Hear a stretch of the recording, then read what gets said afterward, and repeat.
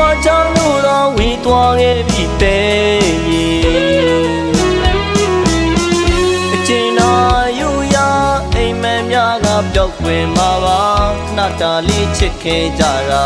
ဝီဒီနေ့ဒီချလို့နေပြီလေ